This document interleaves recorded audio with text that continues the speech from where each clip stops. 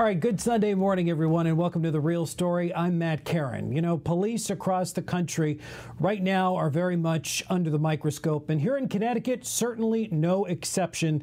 Uh, from calls to completely defund police departments to calls for police reform and accountability, there's a lot going on, and we have two great guests to talk about it. And we want to bring in our first one right now. He's going to talk about the current state of policing as well, with a look toward the future. He is the Hartford Police Chief. Chief Jason Thody. Chief, thanks so much for joining us. Always great to talk with you. You too, Matt. Thanks for, much for having me. Yeah, I want to start uh, with this creation of a civilian crisis response team. Uh, Mayor Bronin wants to do it. This would be a, a, class that's trained to respond to issues like mental illness, emotional distress, trauma, and addiction. Uh, he thinks it's going to take some of the pressure off you guys in the police department. What's your opinion of this initiative? I, listen, I think it's a great idea. Um, you know, police are historically uh, the first to have to address problems that, that no one's really sure how to address. Um, you know, years ago, when, when problems started to be on the rise in schools, uh, people looked to, police and we put school resource officers in the schools. And it didn't take long to realize that that was not a good idea. Um, you know, here in Hartford, we haven't had officers in the schools for years uh, because it really, we as police were not the greatest solution to that problem. Um, I think mental health is another good example of that. When you look at um, officers uh, getting hurt, when you look at individuals uh, getting hurt, when you look at use of force, uh, maybe with the exception of, of domestic violence calls, which also can be very volatile for, for officers. Um, you know, mental health calls uh, cause the most harm, both to the to the person that's in need, the person in mental health crisis, and to police officers. Um, we are just yep. uh, we are not uh, equipped uh, to handle those calls as well as um, social workers and, and people like that. And we here in Hartford have partnered with um, Capital Region Mental Health for many years now to have an on call mental health worker, crisis worker that can go with us to these calls. Uh, but it's only one person. Um, All right, um, Chief, I want to. Okay. Yeah. Chief, I just want to jump in, uh, ask you, you know, the last time you and I had sat down, was back in February. And I asked you if you believed that incidents of officer misconduct investigations should be handled internally. Uh, and you said, quote, I have no doubt that the Hartford Police Department is capable of doing their own misconduct investigations. I also think that oversight is good. Uh, Chief, anything that you would add or revise to that previous quote given the current climate that we're in? No, um, I stand by that. Uh, if you look at our track record here, especially in the last couple of years of, of investigating misconduct and, and dealing with disciplinary issues and trying to set a tone and a culture here uh, for accountability, I think we are uh, on the right track. I think we're, we're doing a good job. Um, that being said, uh, you know, we've had a civilian police review board here in Hartford for quite some time. It hasn't always operated um, at, at its peak efficiency, and a lot of people have talked to me about that but a civilian review board is intentionally outside of the purview of the chief of police and outside of the purview of the Hartford Police Department because it's supposed to be outside oversight. We've had a lot of discussions, especially in the last yeah. couple of weeks, about how we can make that process better.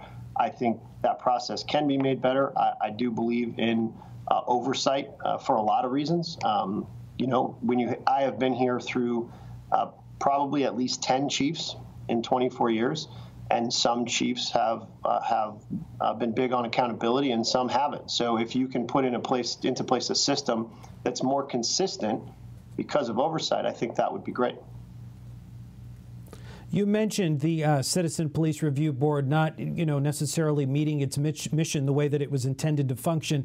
Uh, there was a protest of clergy that went from a church in Hartford right to the police department, then to the Capitol. And one of the things that they demanded was that uh, these police citizen review boards should be given the power to subpoena. Do you believe they should? Yeah, I mean, to be effective, I think they need to be able to get the story that they're that they're looking for. Um, you know, I think that um, you know that, that that's a one element to make uh, an oversight system or a, or a review board effective. It's not the only element. The review board, as it sits right now, has the ability to call witnesses and to call officers. Um, and while they can't compel testimony, they do have the ability to bring people in front of that board. as long as I have been here, I can't recall one situation where they've asked to do that. Um, so I think that you know that, that that is an important piece, but it's also important to, to make sure that you have that you have trained people that are reviewing um, these cases, that you have people where you have credibility on both the citizen side, where the, where our civilians in the city can look at that board and say, yeah, that's credible when they come to a decision. But you also have to have the buy-in of the officers to look at it and say, yeah, that's credible. That's a credible board. You know, they're they're looking at the facts. They're coming to a decision. I think that's the model that we have to come up with. Um, you know, there are other places in the country that sure. do it very well. LAPD has the Inspector General model. Um, you know, and I think that works well. Uh, but again, those are uh, you know, those are retired judges. Those are people that that that worked on, um, uh, you know, on panels, arbiters, and things like that that go in there and, and look at facts.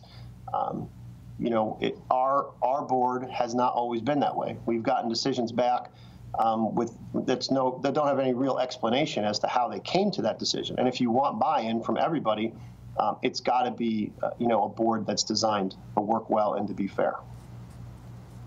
Yep, they have to have teeth, they have to be staffed properly, and they have to meet regularly for sure. Chief, uh, let's move along now to uh, the use of deadly force. You know, do you worry at all about the increasing microscope that police departments are under? Um, you know, in the sense that it may cause officers to second guess what is a split second decision on when to pull the trigger, especially in an instance where deadly use of force may be very legitimate to save either the officer's life or the life of a citizen.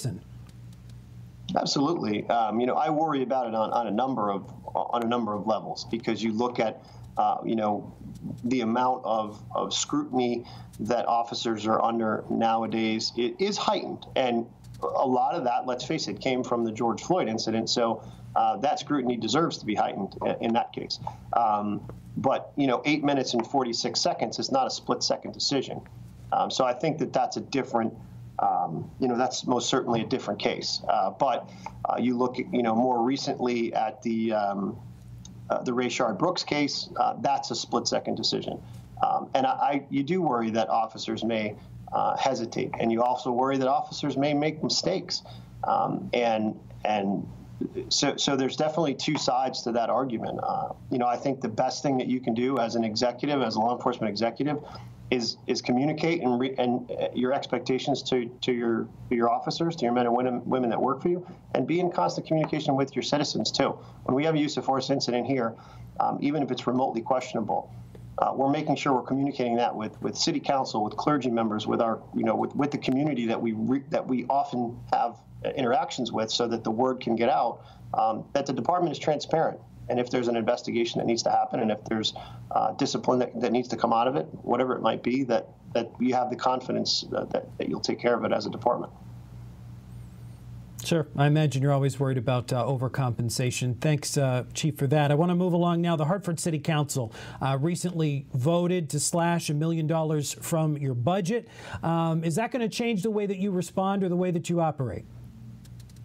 No, um, you know, I mean, it will change. I mean, that, that that's a million dollars, uh, which is, you know, it equates In to just way? under, you know, uh, four uh, percent of our budget. But we're going to have to look at, you know, where we can where we can take that million dollars. Um, and uh, but I don't I don't anticipate um, that that's going to impact the way that we operate. Um, you know, there's there's going to be some. Uh, some doing without in certain categories, you know, uh, but uh, we're going to get we're going to get past it. The one benefit I have is that I've worked on the budget for this department at least for the last five years or so. Um, so I think we'll be able to navigate that um, in in a way that um, you know the message was sent. Um, you know I don't agree with it, but the message was sent, and and we'll we'll we will get by it. Why don't you agree with it? I don't think that you take any situation where your goal is to improve upon uh, the operations of any entity, whether it's law enforcement or anyone else, and remove resources from it. Um, you know, I think the some of the push for for overall defunding of police means that people are looking to abolish it completely. Um, you know, I obviously don't don't agree with that for a lot of reasons. Uh, you know, I think police departments uh, across the country, ours included, do a lot of good work. Um, you know, in, in crime reduction, in, in making neighborhoods safe and livable. Uh, but you know, in this case, it was just it was just the removal of funding. Um, and I don't think that if the expectation is that a, a, department works to improve itself and works to, to change for the better, that you reduce funding or you reduce, um, you know, the resources that that department has. I think it's kind of counterintuitive. Yeah. Chief, uh, talk a little bit about some of the community policing initiatives that you guys got going on there in Hartford. What are you doing not just to enforce the laws, but to build better relationships uh, within the community? Well, one thing we, I mean, we've always had a good, uh, a good, solid uh, foundation for relationship building here in Hartford. Uh, probably back uh, to when we really in, in invested in the community policing model and the neighborhood neighborhood policing plan, and got not just uh, commu- a community service officer in every neighborhood, but we gave uh, we had lieutenants overseeing those officers, and we had some real direction and and some some uh, real connections where residents had cell phone numbers of middle managers and command staff, and we had conversations, and we started going to the NRZ meetings on a regular basis, and we started doing more outreach um, with the PAL programs and and you know recruitment. Um, I think you know we we established a good base there. Uh, more recently, you know, I've gone to a lot of NRZs, especially when I was the interim chief and and was uh, was getting out there and talking to folks. And we've started uh, to really address some of the root problems that people have, have, found in the city. We've created an illegal dumping officer because that was, you know, last year we didn't know how many issues we'd be dealing with this year, but last year that was a big issue. And we were able to give, you know, residents the ability to, to hold people accountable for dumping um, you know, homeless outreach officer, uh, domestic dedicated domestic violence team, and having uh, workers in the department uh, that can follow up on these calls. Um, again, kind of like what the mayor was talking about with uh, with uh, the, the social workers, uh, having that specific to domestic violence was important here. So. Um, walk beats, you know, bringing back the walk beats. Right now, we have 12 officers out there on walk beats on a regular basis. So folks are seeing cops not just driving by in their cars in an impersonal way, but out engaging with officers in a very personal way. Um, it, it has been right. challenging to maintain those relationships during COVID 19. Um, you know, as we sit here on a, on a Skype interview where we, we, I think the last time we spoke, it wasn't that way. You were sitting in my office. Um, so it's it's it's tough, and I've encouraged officers to maintain those contacts, call on people, check on people, let them know that you know that we're still here, um, that that we still care about them. So it's it's been a challenge with COVID, but we're still maintaining those ties. And you have uh, minority officers that make up about 40% of the Hartford Police Department, from what I understand. So I just want to move along to this issue body and dash cameras. When we talk about police accountability and transparency, um, do you believe that that video should be made publicly available even before an investigation may be complete uh, in the interest of transparency? And I know that there's a lot uh, that goes into balancing the pros and cons to that. And how how has Hartford benefited from body and dash cameras? I do. You know, you're right. It's a tough balance. Um, you know, you want uh, our old school mentality. You know, I was a detective for a number of years and worked in the bureau for a, a significant period of my career. And it's always this, you know, the sanctity of the investigation. You know, it's it's imperative to maintain the evidence, and you know that was our mentality for a long time. And uh, you know, the, the the community when something happens, they want to know what happened. And I think that you know my opinion has shifted to say we need to release uh, that you know that video right away. People need to see um, the good, the bad, the ugly. Um, they need to see it. They need to know what happened. That's the idea of transparency. You can't just you know release it when it's when it's to your benefit. And you know we had an officer involved shooting.